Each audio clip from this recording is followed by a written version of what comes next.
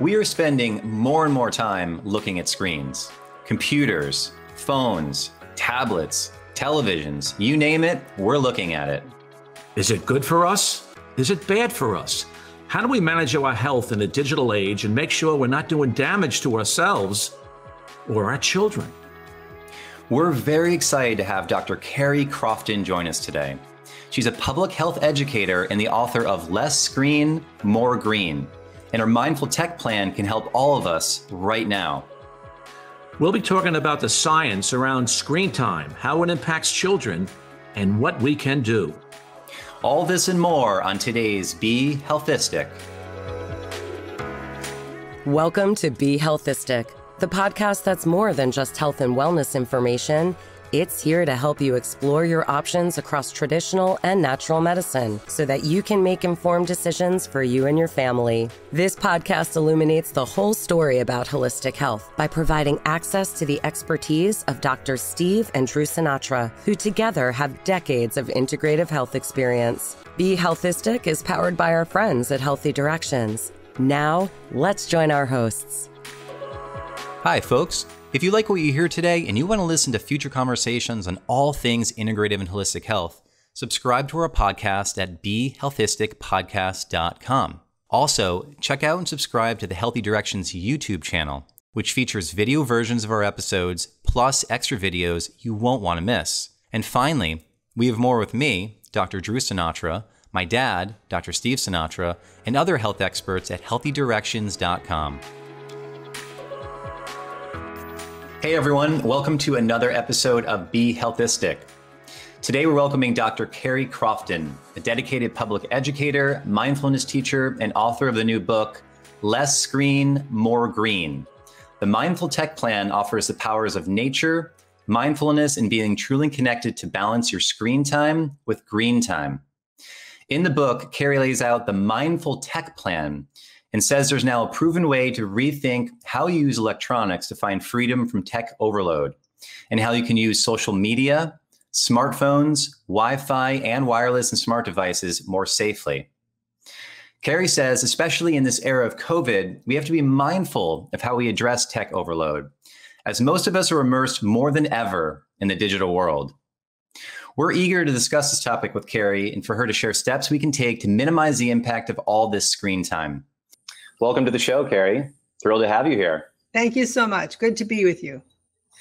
Well, we are certainly in an era we, we're, we're using tech more than ever. I mean, we have kids in school learning online, we have people working from home using their computers. Where do we begin with all this? There's just so much tech. How do we balance this? So easy to become overwhelmed. I think, first of all, we need to acknowledge all the great benefits of all this technology connecting with you and your listeners and viewers. Uh, you know, we couldn't have done this uh, some time ago. This is, as you know, a really powerful technology. And with all energies that are very powerful, there's oftenly often an upside and uh, let's say drawback. So, with my impeccable sense of timing, I published a book on screen time when we were just launching into spending much more screen time, all of us, myself included. I've got so many low tech friends who said, I've never spent this much time on screens. Mm-hmm. So I'm really mindful of this message has to be taken into context. And as you, both of you, doctors Sinatra, know about health education, we really want people to be informed to be fully informed so then they can make the choices. So, what I want to do today is tell you about what our mindful tech plan is, our four points of how we can, in a sense, it's really rethinking our connection with all things wired and wireless, how we can use them mm-hmm. more safely, how we can use them more mindfully. And then, of course, the big challenge how do we get our kids off their devices and outside to play?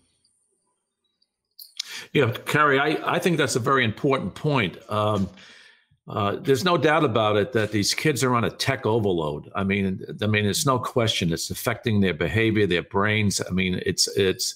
I mean, we're hearing words of uh, digital dementia now, uh, you know, in children and stuff like that. So, um, in your research, and I know you've been looking at this for more than a decade because I know that we, we talked about this over 10 years ago. 15, I think. 15, that's yeah. right. We were at the A4M. I mean, that's yeah. unbelievable how time flies.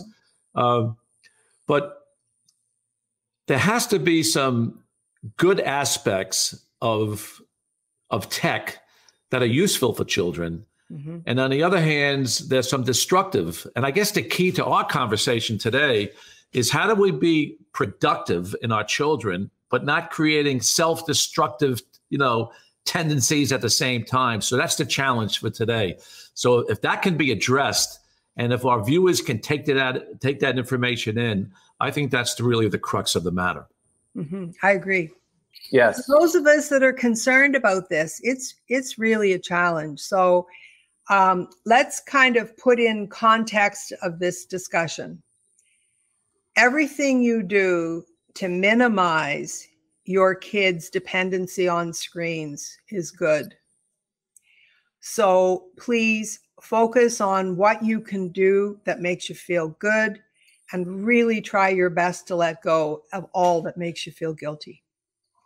As parents, the last things we need, COVID or no COVID, is anything more to feel guilty about. So that's why we framed this mindful tech plan and this book, Less Green, More Green, in a way of offering people here's the science. This helps to build your motivation. So, as you said, Steve, I mean, this is changing the development of kids' brains, their social patterns and behaviors. So, as young as you can, really be mindful of giving them screen free, low tech, nature based, connecting with you ways to uh, self soothe, to express themselves, to entertain themselves. Um, and it's a challenge. I acknowledge that for sure. And so, be specific, Kerry. I mean, how do you do that? well, one of the things is we've we've talked about using, as Drew read in the intro, using the power of nature.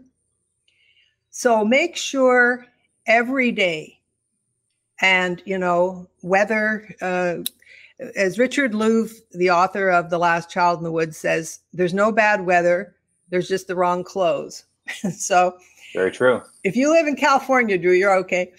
But every day, make each time, make time to get your kids outside, to sit on the back porch, to maybe it's nearby nature, or maybe you're in lockdown, in which case, sit by an open window, read a nature based book together, just some screen free way. Have lots of board games around um, and cards. One of there's many sad things that I see um, in this. And one of them is how often you see parents on their devices and they're so focused on their devices and the kids are just looking for their attention looking for their attention so there's a couple of concerns with that one is they're not getting the early bonding and connection and attention they need and crave and they're also learning how you have this connected dependency and that this thing rules and is the hub of your whole world. So, part of what we're doing is showing people how you can have connectivity in a safer way and how you can make time each day, as I said, for time in nature, for quiet time, where a mindfulness practice, prayer, some way to just be with yourselves. Um, I've got a quote here I just wanted to read you from Thich Nhat Hanh. And he says, We have to go back to ourselves, to our beloved ones, to nature, because electronic devices help us to run away from ourselves. We don't have to reject these devices, but can make good use of them. So that's really what we're focused on. So each day, time in nature, each day, some kind of quiet time and mindfulness practice, and each day, some way of being truly connected. Sit down on the floor with your kids and play a board game or fashion something, draw, sketch. We need more of those good analog things. You know, I love that quote by Thich Nhat Hanh because the adults certainly are running away from themselves by using screen time as well. I mean, I think we're all guilty of it. And um, I, I, love what you're talking about because you're you're not only allowing the screen time to be put aside, but you're allowing the the rich time with your kids to be the most important part of your day. And that's what we need more of is more family time, not less screen time. exactly. And so I can hear the parents saying, "Oh God, I knew they were going to talk about that, but I'm so busy and I don't have the time." It really is. I know it sounds trite, but it's the quality you can be in the midst of something, maybe not in the midst of a Zoom call, or, but you can be in the midst of something you're cooking or you're writing up a report or whatever you're doing, and your child is looking for you. Just turn and be with them, touch them, just put your hand on them and say, Sweetheart, what do you need? And it, honestly, in a minute or two, they can feel connected and heard and then you go back to what you need to do and they. But if you're focused on this all the time or on your screen all the time it's uh, it's hard for them to get that feeling of connectedness with you. Right because when when an adult is on let's say a, a cell phone or the devices or whatever the computer um, and they're not giving the child any attention they're disconnected. And I, what i really like what you said is even if you give that child 30 seconds, a minute, two minutes of just focus, a time where you drop everything and you acknowledge the child for where they're at, um, I think that makes all the difference because that's what children need. They need to have that connect, that vital connection between the parent uh, to know that they exist and mm-hmm. that they are real and, uh, and and that you're available for for anything. And I think that 30 seconds, one minute, just the way you said it was uh, was key, very very key. You know, Dad, I just thought of something. When I was a, a young boy, you had your beeper for the oh, hospital. awful, awful. And and that was, uh, I, I, mean, I remember you you were constantly sort of checking that thing, and it was going off. And uh, I mean, have have obviously times have changed since then, but that was sort of the beginning of uh, being disconnected, right, from from your life in the sense of like your family, but like being connected in with with that technology piece. And I think it's just exponentially higher these days that we've all gotten just so plugged in to our phones and our computers and our tablets and all these electronic devices. And they've actually almost like it's like you were wearing your beeper. Now we carry our cell phones and we have watches that we connect to one another with. And it's like we're, we're just making these things like closer to our body and almost a part of us. It's mm. it's odd isn't it? No it, it is odd but i'll have to tell you it's absolutely true. I mean the the day i gave up that that beeper was a day I could absolutely live in a world relaxed because, you know, being an invasive cardiologist with people that could, you know, actually pass at any moment from cardiac arrhythmias, uh, I mean, yeah. high blood pressure, low blood pressure, CCU, ICU. Uh, and living on a beeper is, I, I got to tell you, it's like, it's worse than vigilance, Kerry. It's waiting for another f- shoe to drop. The problem is, is the shoe's always dropping because the beeper's always going off and your autonomic nervous system never resets. It's always yeah. in overdrive. And that's, that's the problem. Right. And thank God that I discovered grounding and earthing, you know, in my, in, in, my growth and development with uh, Clint Ober, you know, 15 years ago, because uh, again, um, you know, placing your barefoot on Mother Earth. And again, this is something that that you teach your children all the time, Drew. I know, and it's uh, th- this is something where if you can get the child, and you said it also, Kerry, getting the child back to nature, uh, I think is really key. Um, and the physiological aspects of grounding are extraordinarily important because again that's going to balance the overactive autonomic nervous system that we get from our devices mm-hmm. so it's a perfect match it is and it really part of my concern with um, this dependency on devices, and again, as I said, it's very challenging because we need them. Uh, you know, we use them for so many of our activities. But there's a, lot, a, a couple of concerns, and one is that when we are spending so much time on a small screen, it's taking us away from so many ways that we are grounded, that we are truly connected, that we are feeling that we're doing, uh, we're living a life with purpose and meaning, and we really feel good about you know how our time is passing. Um, and the other thing is the harm that can come from just too many hours uh, connected to a wireless device. And so, what I encourage people to do is, um, in a way, kind of like grounding. I, I teach a, a technique called pausing. Well, I also teach mindfulness meditation. And um, for some people, you say, I shorten it down to five minutes. And I was giving a lecture one guy, and the guy says, Five minutes? you want me to sit quietly without my device for five minutes? So anyway, I'm now I'm now teaching a, a technique called pausing. Okay, so you've got your phone and using your mindfulness. So part of mindful tech is instead of just this automatic habitual your brain is hooked on the dopamine. You're all psyched into this. You're stressing every cell in your body, your heart, your brain, everywhere. We thought we had stress before the digital age, but now we really in overdrive. So have a thought awareness. Is this call or text or shopping online, whatever it is I'm doing, is it necessary? Is it a distraction? Or is it something that's truly meaningful? Hmm. Or you may, for example, start off with something that's necessary. So you go on to your messenger, you're on your server, and you're in your online or wherever you are. And you started off because you had to find out some research, or you had to book a holiday, or you were something, or you wanted to catch the news. Speaking of stress, catch the news. so you do that, what you needed to do, what's necessary but then before you know it, you are down the rabbit hole and you have spent uh, 20 minutes, an hour, a couple of hours, and where have you been? Yeah.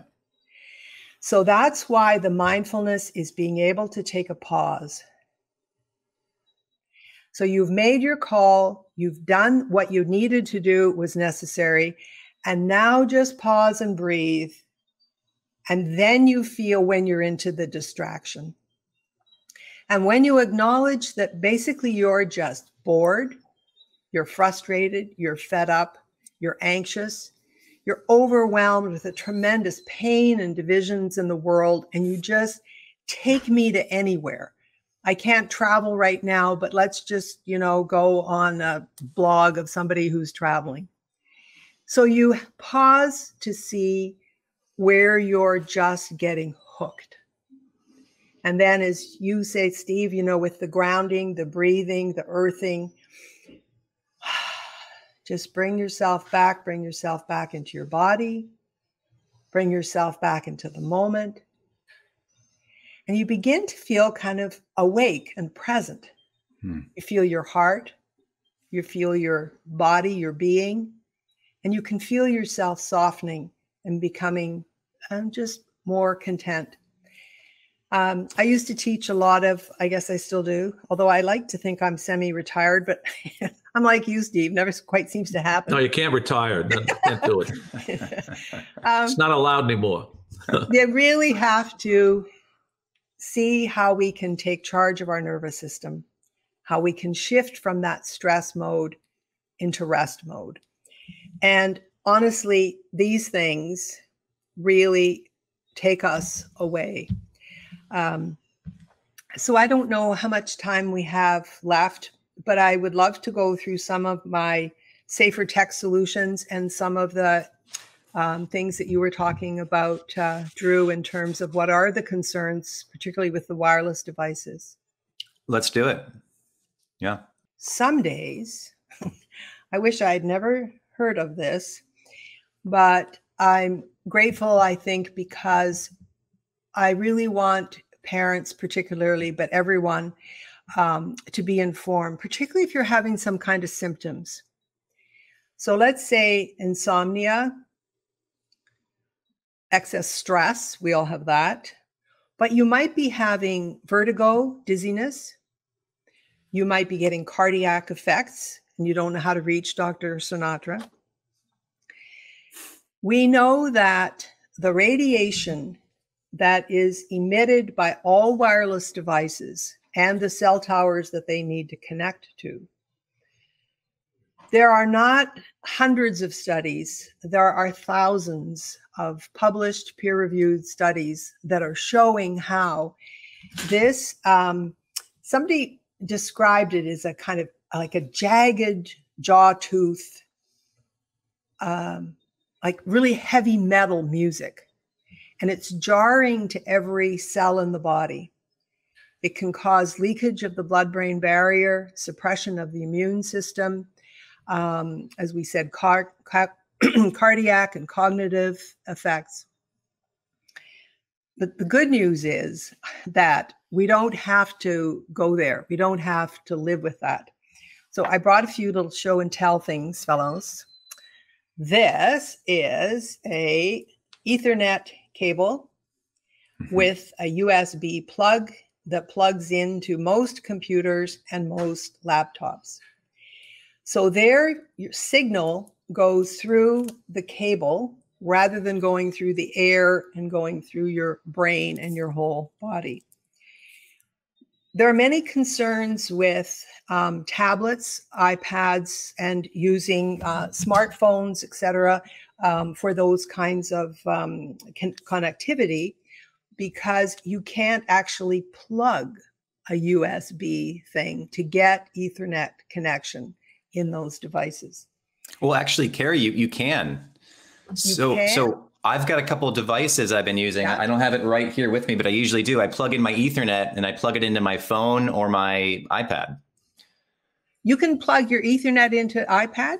Absolutely. Yes, I will I'll send you some information Excellent. on this. My my brother was all all on, t- on board with this years yeah. ago, probably around 2 years ago, and so now the cables are everywhere. You can get them Perfect. all over the internet. Perfect. Okay, so the next thing I have to do is tell you about this. I gave these to my kids, and um, okay, so it's a corded landline. Corded, and corded, very important. Yeah. Corded, very important. So if you don't remember anything I said, remember corded over cordless, wired over wireless. So I gave a corded landline to my um, kids, and um, the grandchildren call it the granny phone because granny's the only person that ever calls on the landline. Uh, so please don't feel discouraged. There are many ways you can keep connected uh, without the harmful levels of wireless radiation. But one of the reasons that is a concern is that, and I don't want to go into too much detail, um, but the standards are not accurate. So the um, em- emissions from uh, smartphone, particularly, are so called within the government sanctioned levels. However, they are at levels that have been shown to be harmful. So if you have, uh, I really don't recommend even a flip phone for a kid. But for older children, if you are determined for them to have a device, don't give them something they can play games on At least with your bleeper, Steve, you couldn't, you know, search the internet on your right. or, or play video games. So if you think you have to, give them a low SAR, that's specific absorption of radiation level, less radiation phone, and they can't play games on it. It's no, it's not cool. We want our kids to be tech savvy.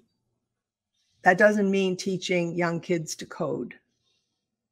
We want our kids to be safe. That doesn't mean giving them cell phones.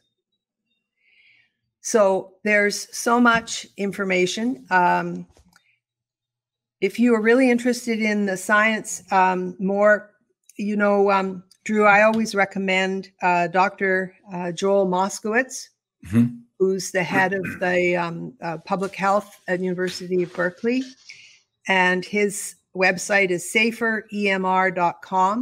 He's an epidemiologist and he follows the science. And how he sleeps at night, I'm not sure, but he sends out quite often summaries of the research.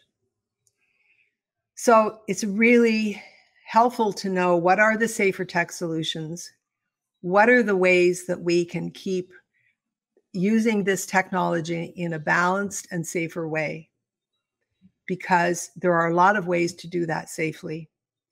Um, it just takes um, really the knowledge and the motivation and just doing it. You know, Drew, I'm going to jump in on this because Kerry made two vital points. Uh, you know, basically, she talks about using the corded phone. I mean, yeah. that's a must in the house. I mean, uh, having a corded phone is going to be the safest thing you can possibly do, in, uh, as, as opposed to speaking on a on a on a cellular phone. And even the instructions these days on on on the, on the cellular pho- phones it's showing don't even touch it to your body. I mean mm-hmm. if, if, if, you read the fine print it says you know seven eighths of an inch or in other words don't touch it to your ear uh, be, you know because of the radiation factor. And the other thing is is basically and i'm so glad you mentioned it kerry these cordless phones in the house it's like having a it's like having a big antenna in your in your home. I mean, the amount of radiation it puts out is unbelievable. Mm-hmm. And I have to tell you, as a heart specialist, I had calls from my colleagues for the last five years. Um, you know, basically, their wife went into atrial fibrillation. They went into atrial fibrillation. And my first question was, "Do you have a cordless phone in your home?" Mm-hmm. And they would say yes. In fact, we just got one. And I would say, throw right it in the trash. Where we sit, and right here beside where we sleep. It's amazing but these cordless phones put out radiation so much. And remember, the heart is the most vulnerable organ to electromagnetic frequencies. Mm-hmm. So right now we're in an epidemic of atrial fibrillation where the heart is running wild in a panic. And um, uh, I, just think the electromagnetics uh, is one of the major culprits. And, mm-hmm. and people have to realize this. I mean, people are very resistant to to uh, you know not changing you know some of their phones and stuff like that. But these these cordless phones belong in a trash can. That's where they belong. Well, Dad, enormous damage. You, know, Dad, there's a big convenience factor here. A lot of these technologies they provide convenience, like having yeah. a, a cordless phone over a corded phone. But I'll tell you, I mean, I haven't had Wi-Fi in my home for I, I, don't even know at least 12, 13 years, and no corded or no cordless phones or anything. And uh, once you get used to plugging up your computer into Ethernet and uh, you know using these devices in a really smart way, it, it, it's not an inconvenience. To me, I just think it's sort of normal to have some Ethernet cables running around the house. Right, exactly. but right. well, they're all on the same page. I mean, that's great. I mean, that's that, that's wonderful. But you know, one of the good things, really, Steve, I've noticed recently is people. Most people don't even have landlines, so they don't have cordless phones. Um, so if yeah. you want to put together a kind of a, a kit package, let's say somebody says, you know, I'm concerned about what I've heard. I don't really believe you people all that much, but you know, maybe you're saying something that's true, and I'm concerned. Um, as you said, Drew, you can be on your computer, you can be on your calls, you can do all this, but do it with a wired uh, connection. And then also, it's really helpful, I find, um, to have some kind of monitoring device. Because I know from when I do um, talks and workshops, and, and I can rattle on, unfortunately, for days about this. But honestly, you know, when I take out one of these meters, and so I've stopped doing this because people all they come up and they want to measure yourself, their, you know, and honestly, when they hear how these things blare and how far away they blare, or they take this around and they take it to the base of the cordless phone, or they take it to their um, the, smart, my God, the smart TV, the smart fridge, the smart watch, all of this smart technology, sadly, is harming our health um, extensively. But really, if you have a device, and you don't need to know the whole spectrum, but it is helpful to realize if you're measuring the electromagnetic fields, in other words, I've got a light here, and so there's electromagnetic field coming when it's flowing there and it's on. But, and I don't have any, fortunately, any wireless devices around, just this thing that I carry in the car. Um, and that is um, wireless radio frequency. So you have to have different meters to measure those. But you can get, do you remember, Steve, these ones we had that we got from the UK? Oh, yeah. yeah. These are Drew's laughing things. because, yeah, my son Step tried to, uh, you know, getting involved in purchasing the company because yeah. we, we really believed in it. Yeah we were in an airport one day and I had this on and I'm looking around and I think, oh, there must be somewhere. And I go into the washroom and they have a little thing written, yes, even here, Wi Fi hotspot. I'm like, oh no. Anyway, so I'm wandering around the airport and I'm looking for somewhere that I can sit where it's not too. And my daughter says to me, Mom, I think you'd feel a lot better if you put that silver thing away. You, you know, Kerry, I was given a lecture in Las Vegas about 10 years ago. Uh, there was about 200 people in the room. And uh, I asked if anybody had an iPhone two or three, you know, one of the early iPhones. Uh, and they did. And I said, Would you make a call? And I took that device and I was standing 100 feet away and it, it, it, it blew up the room. In other words, the, the sound was so loud that the radiation from that one cell phone, she put it on speakerphone, just permeated the whole room. And the doctors were shouting, turn it off, turn it off. And uh, it's amazing. Those 200 doctors had an experience that day because yeah. the problem is, is we can't see, feel, or taste this wireless radiation, mm-hmm. but it mm-hmm. penetrates our DNA. It gets into our heart cells. It gets into our brain, and it causes aging. It ages the cells, and that's what people have to get some people can feel it. So there's something called electro hypersensitivity, right. Right. and some people um, can. So I think it's really important, as I say, to keep coming back to what are the strategies? What are the solutions? What are the ways forward that we can live healthy and with our children be healthy and grow up in this uh, digital world? And, and that is really um, I, I, hope this doesn't sound too kind of prescriptive or pat or whatever, but I've really found what I call these three powers make time each day to connect with the natural world. And maybe that means doing a flower arrangement or go sit outside under a tree. I've made a great connection with this woman, Sylvie Rokab, who did a wonderful documentary called Love Thy Nature and she does forest bathing. And this year we did our first virtual forest bathing. Mm. So make time each day to connect with nature. Make time each day to connect with your own being. Quiet time, yoga, mindfulness, Tai Chi, Qigong, grounding, something like that. And make time each day to really, truly connect with your children and your loved ones with lots of screen free activities and fun. And uh, please don't feel guilty. You're not going to, like with any dealing with any dependency or addiction, but it's every positive step. Feel good about that. Uh, Kerry, that's very powerful, and there's some amazing recommendations you just made there. Um, as we wrap up today, uh, as always, we're going to share some wellness wisdom with our listeners. Um, so, if you had one big, simple pearl of wisdom for reducing the impact that screen time has on us, what would that pearl be? Use the pausing technique and don't wait until you feel like unplugging. Just do it and get up and walk away. Give the dog a hug, walk outside sit on the grass and look at the sky. Beautiful. Well said. Very well said, Kerry. Well, thanks for coming on the show today. Thank you so much. It's wonderful to see you, fellows. That's our show for today, folks. If you have a question or an idea for a show topic, please send us an email or share a post with us on Facebook. And remember, if you like what you heard today and you want to be an active member of the Be Healthistic community, subscribe to our podcast at BeHealthisticPodcast.com or on Apple Podcasts or wherever you download your favorites. You can also find more great content and information from us and the Healthy Directions team at healthydirections.com. I'm Dr. Drew Sinatra. And I'm Dr. Steve Sinatra. And this is Be Healthistic.